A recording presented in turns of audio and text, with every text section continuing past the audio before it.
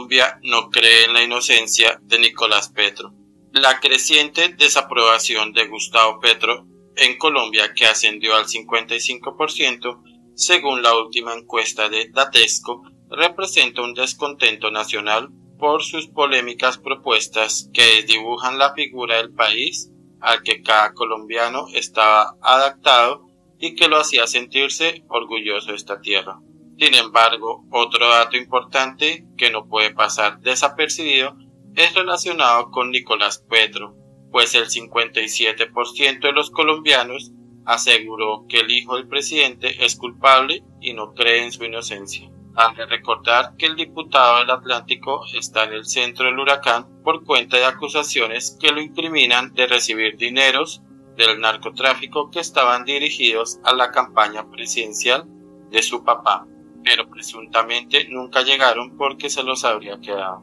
Vale recordar que este martes el Consejo Nacional Electoral confirmó la sanción contra Nicolás Petro de la Colombia Humana por presuntas anomalías ocurridas durante la campaña de las regionales en el año 2019. Para el senador Miguel Uribe Turbay, los resultados de la encuesta y los frecuentes escándalos demuestran que se acabó muy temprano la luna de miel entre Colombia y el gobierno Petro. Se acabó la luna de miel, aumenta la decepción, indigna el apoyo a narcos y criminales, agobia el mal manejo de la economía, desilusionan escándalos de corrupción y abuso de poder de familia Petro, el cambio para la gente nunca llegó y la desaprobación es el resultado, detalló Uribe Turbay.